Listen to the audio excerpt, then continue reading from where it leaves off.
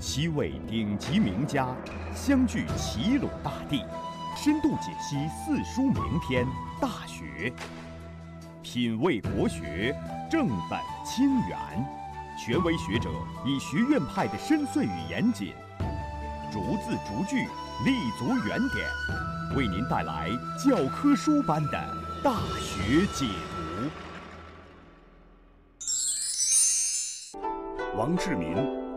孟子研究院特聘院长，山东师范大学二级教授、博士生导师，山东省理论建设工程齐鲁文化研究基地首席专家，山东省齐鲁文化研究院名誉院长，山东省古典文学学会会长，中国孔子基金会副会长。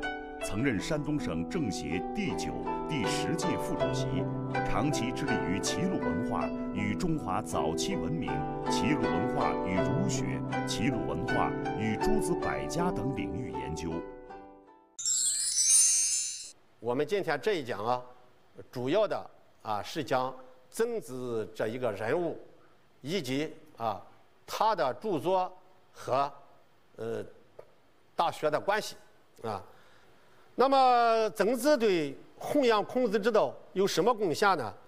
我们觉得第一，第一点就是深刻阐发孔子之道。在这里面，第一点就是他是深刻领悟孔子之道，是领会最深，得其要领者。那么后半生，他主要是教授生徒，传承孔学。他的后半生的主要的。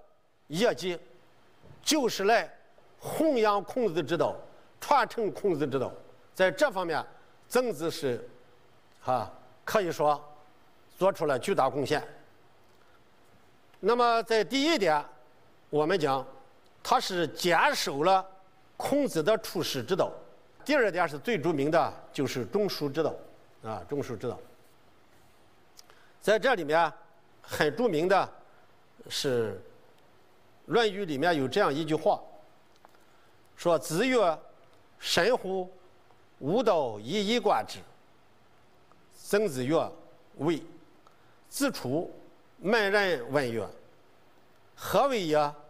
曾子曰：“夫子之道，中书而已矣。”这一句话非常重要啊！我们说曾子对孔子之道。领悟最深，啊，领悟最深，最得孔子之道。关于中书问题，这是一个非常啊这个突出的证明。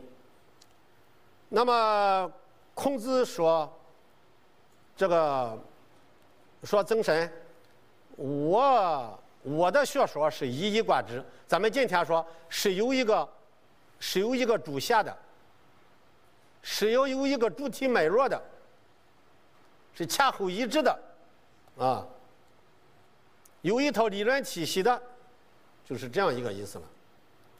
曾子就说：“哦，啊，那么，然后出来，就出来了。出来以后啊，那他的他的弟子就问他，那什么意思啊？这个哈？”老夫子说的什么意思？曾子曰：“夫子之道，中书而已矣。”说夫子之道啊，夫子一以贯之的，他的思想的，这个体系，用两个字就概括，中书也就罢了。这里面啊，我们知道哈，孔子在《论语》里面啊，提到人字的是最多。啊，提到人字的最多。孔子的思想是以仁和礼为核心的。孔子在《论语》里一百零九次提到仁字，啊，七十四次提到礼字，提到礼。但是呢，在各种场合都来这里说人。到底孔子的道哪是的核心呢？哎，曾子用了“中书”而已，两个字就概括了。这里面我们今天说。那的确是，啊，抓住了孔子思想的这个核心和他的关键之处。这个在《论语》里面还记载，子贡就说：“如果有百十余民而能集中，何如可为人乎？就是说，如果这个我们能够把自己的这一些啊这个资财广发的这个哈来救济老百姓，来帮助老百姓，怎么样？那是不是就成为仁爱呢？孔子说：“何事于人，比也圣也。”说如果能够做到，那不但是能做到的人，那就是圣人了。尧舜岂有病病主？连尧舜也做不到。然后，孔子说了：“说夫仁者，仁是什么呢？啊，他说：己欲立而立人，己欲大而大人。能见取皮，啊，可谓仁之方也已。这就是说，你你不是问人吗？人是什么？己欲立而立人，自己想立的事情，你也让别人立；自己想做的事情，你也让别人去做。哎，如果你就你的纠结行动，咱们今天说纠结，来这里明白这个道理就去做，那么可谓人之方也。那么你就算是找到了行仁的这个途径。这样你看一下，孔子和子贡在这个对话当中，不但告诉他什么是仁，啊，而且告诉他怎么才能够行仁。在《论语·卫灵公》里面，还有子贡问说：“有一言而可以终身行之者乎？”说问一下老师，有没有一句话我们一辈子去去落实他的这样一句话呢？孔子说。其属乎？啊，种树的树啊，其属乎？己所不欲，勿施于人。说自己不想干的事情，不要让强迫别人去干。啊，这就是属。好了，这是子贡和孔子的对话。你看，这个每一句话都是孔子。在这里转转教导这个子贡什么意思？不但说了，而且要为他做解说。再来对比曾子，只要孔子说了，说我那个我的学说是一以贯之的，曾子就不用说了。结果出去总结了两个字：中书。我们来从这里啊来看，的确，最得孔子之道，最领悟。孔子之道的精髓的，那么就是，啊，这个曾子啊，就是曾子。所以历代学者就多以种树来解读孔子仁的思想的核心。所谓忠，就是己欲立而立人，己欲大而大人；所谓恕，就是己所不欲，勿施于人。我们再来。讲讲一点，就是他能够的深入的阐释孝道，啊，这个孔子是最重视孝的。孔子认为啊，这个曾子是通孝道，因此来收他为弟子。那么曾子啊，对孔子孝道是最能阐发又最能落实的人。也就是我们可以这样说，曾子是孔子孝道的。一个阐发的理论家，又是身体力行的一个大孝子。孔子学生问他什么叫孝？第一个是无为，就是这个父母说了话你不要去，咱们今天不要去顶嘴，不要去对抗，啊，这就是孝。第二点，孔子就说了，说今之孝者，是为能养。咱们今天说，只是一个物质上能够能够保证他，呃，这个哈。呃，吃饱穿暖就是就是孝孝敬父母了。那孔子就说，连犬马也知道，是吧？那么，如果不不敬父母，不敬重父母，那和这些和这些禽禽畜又有什么差别呢？这是啊，孔子说这个孝的啊，对孝的一种解释啊。这个蒙遗子问孝的时候，孔子又说：“生失之以礼啊，以礼来对待父母；死的时候有葬之以礼，然后以后呢祭祀以礼。”这个曾子乱孝，第一方面是与孔子有相通之处。在《孟子滕文公上》里面，孟子引用曾子的话就说：“说亲丧，故所自尽也。”曾子曰：“生失之以礼，死葬之以礼，祭之以礼，可谓孝矣。”这个话和上面孔子讲的话实际上是一样的。再一点就是，曾子实际上也发展了孔子的孝论，啊，他认为这个孝啊对社会是有重大影响的。《论语》在《学而》篇里面。曾子就说过：“说慎终追远，民德厚之矣。”这个朱熹曾经解释过啊，他说：“慎终者，丧尽其礼。”这个为什么叫叫慎终追远？什么叫慎终？啊，就是说，当这个父母去世的时候，你要按照隆重的礼节来。安葬他们。所谓追远者，就是极尽其诚，就是祭祀的时候，你要诚心诚意的来这去祭祀这个父母，啊，祭祀这个祖先。然后啊，主席就这样解释，说：“盖忠者，人之所以乎也，而能慎之。为什么说慎重呢？”那么，曾这个主席就就来解说了。他活着的时候，你还能够来这里哈，呃，来这里侍奉他。可是死了以后，往往忽略，所以我们应该慎重。那么远者是人之所遗忘也。这个父母去世了很长的时间之后，人们好往往容易忘了。这个时候，因而能追之啊，能去追念、追思，靠这个祭祀来这里去时时来怀念这个父母的这个养育之恩啊。说下面化之，则其德宜归于后矣。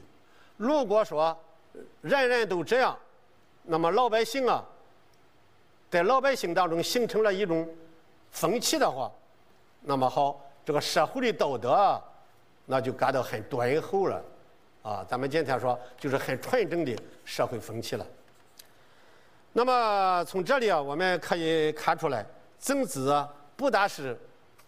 能够深刻领悟、领悟孔子的孝道，而且对孔子的孝道理论还有发展。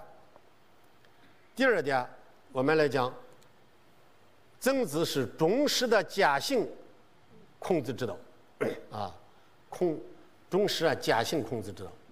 第一点就是以行人、以行人道为己任，在《论语》。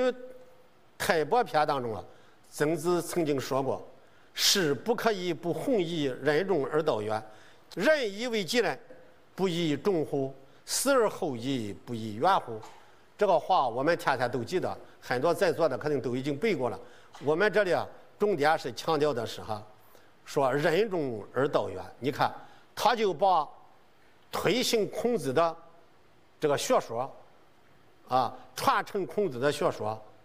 啊，是任重道远，啊，所以啊，这个不可以不有一种啊一种这种高远的、坚定的一个毅力，才能做得到。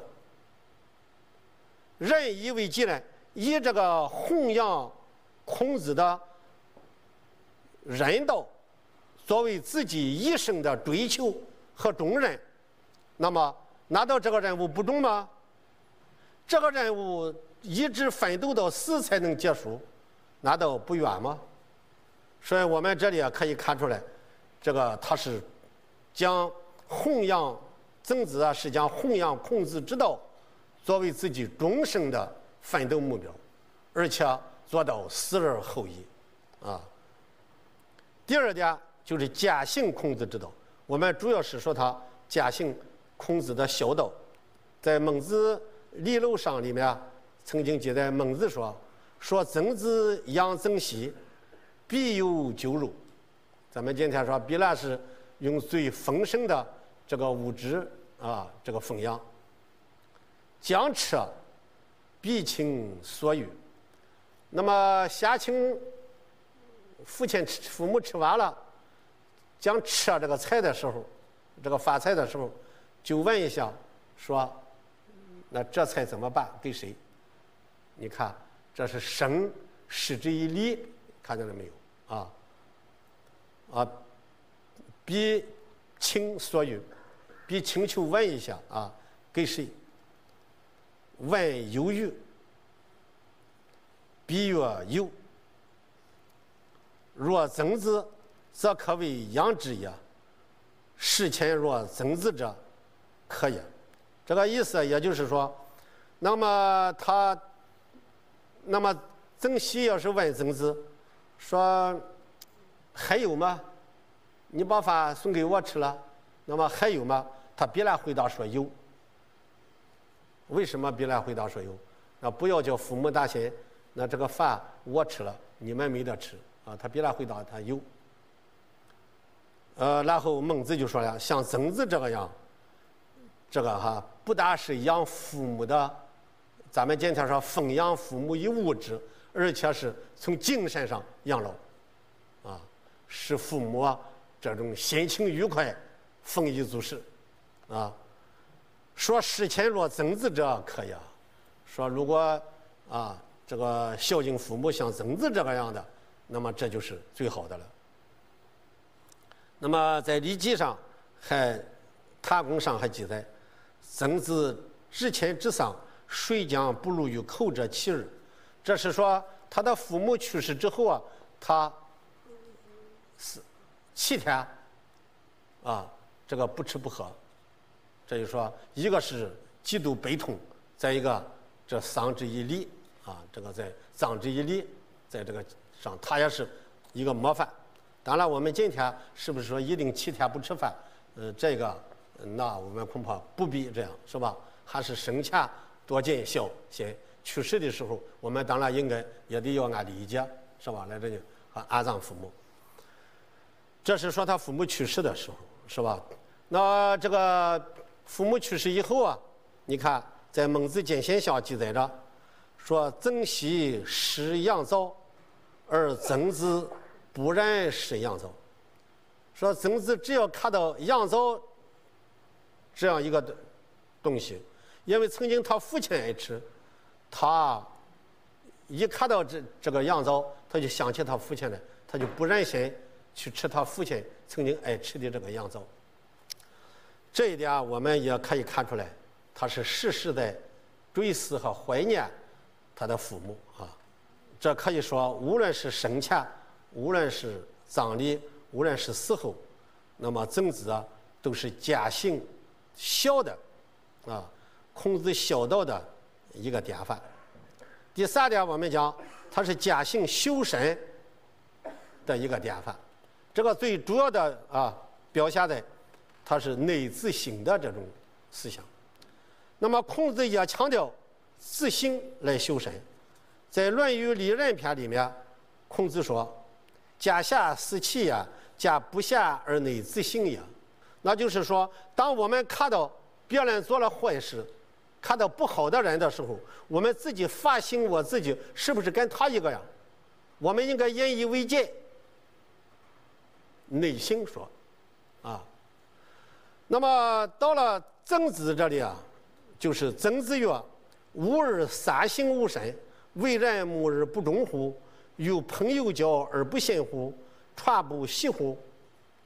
那你看，曾子每天反省三遍，就是来反省孔子最对弟子教导最关心的他的三个方面的问题，一个是忠不忠。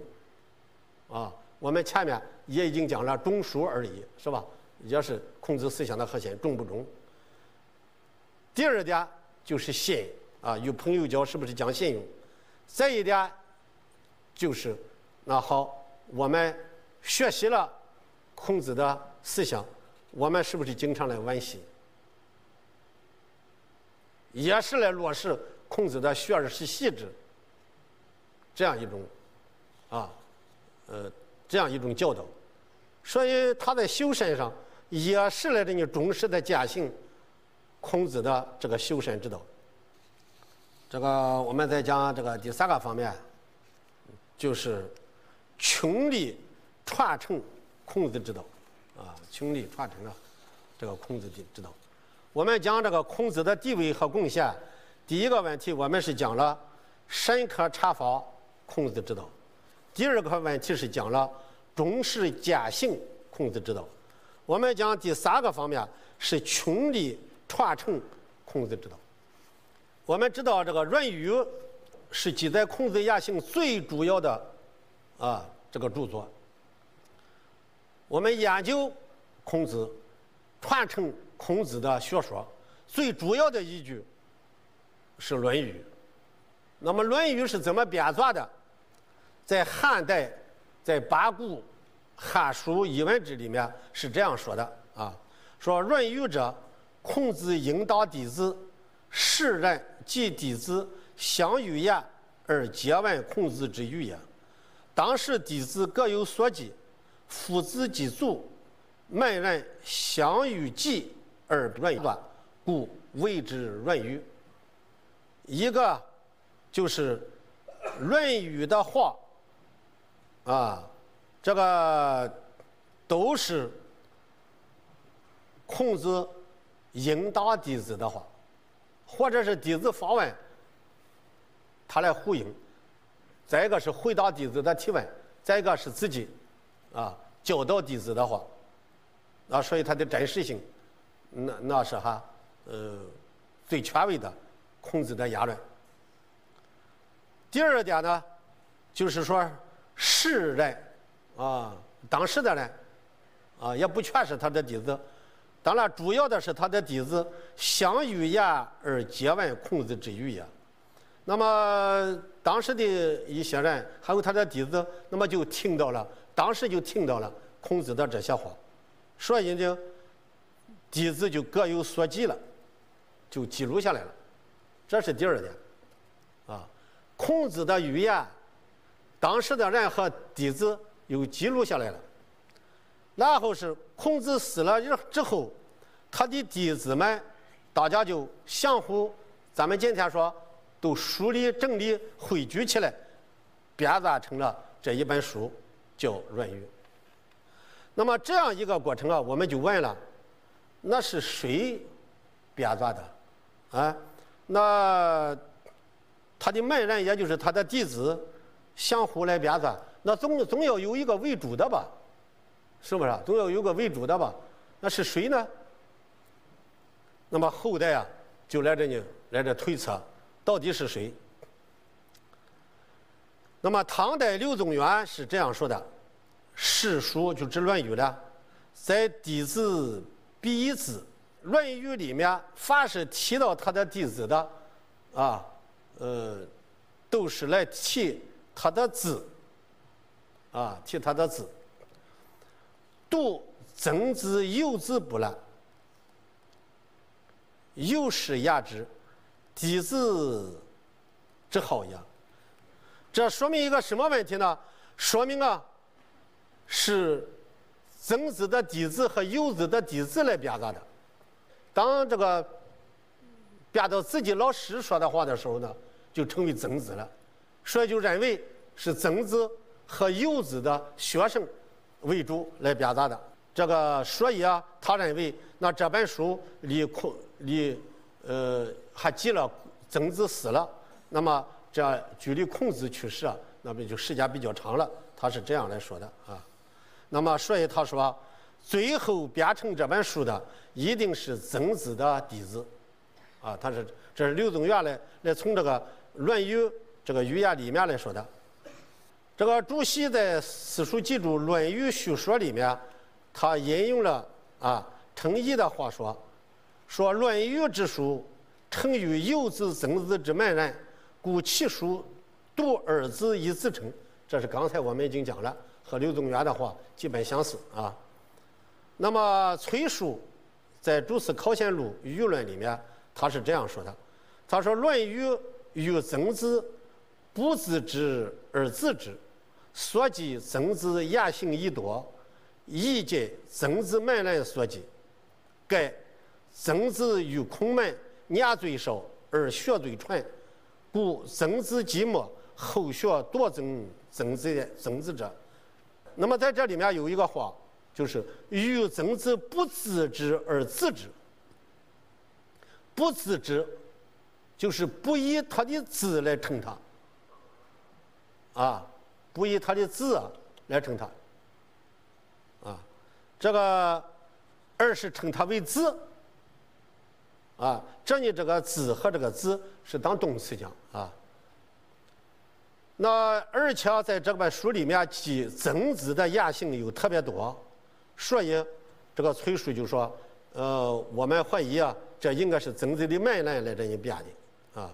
那么我们下面还列了一下哈，你看在《论语》里面记曾子的是十三章，记子夏的是十一章，记子游的是五章，记游子和子贡的各四章。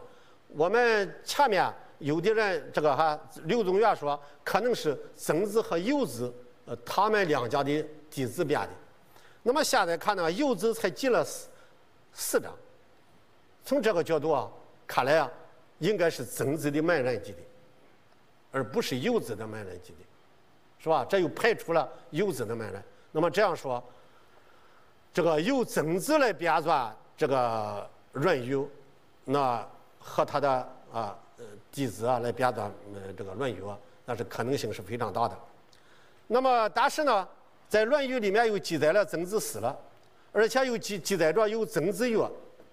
那如果曾子编撰的话，他不好说，呃，自己称自己子，啊，这个子是咱们知道了，呃，那孔子就是称孔先生的意思，啊，这对人的尊称，他不可能自己尊称自己是子了。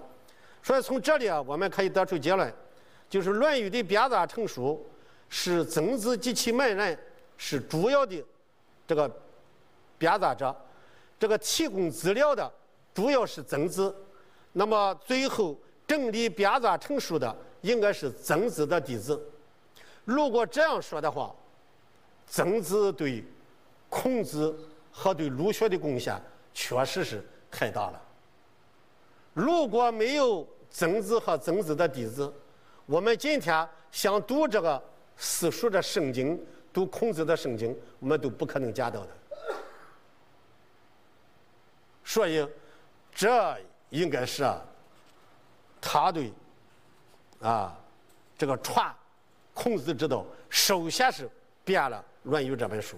第二点就是曾子是孔孟之间儒学的主要传承者啊。那么我们前人啊已经说过了啊，呃，这个韩愈，他是。